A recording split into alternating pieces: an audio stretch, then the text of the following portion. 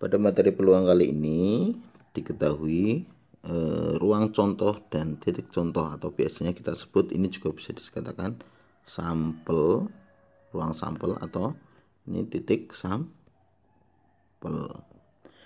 Pengertian dari ruang contoh atau titik contoh sendiri adalah eh, ketika kita dalam istilah di statistika eh, di peluang itu ruang contoh ruang contoh adalah hasil dari semua.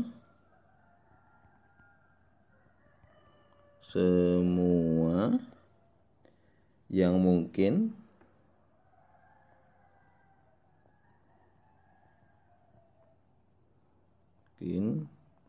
pada suatu kejadian atau percobaan. Kemudian kalau titik contoh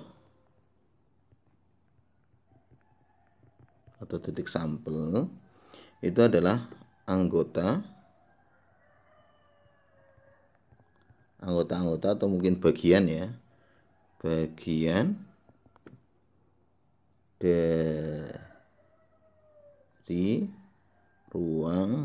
contoh atau ruang sampel.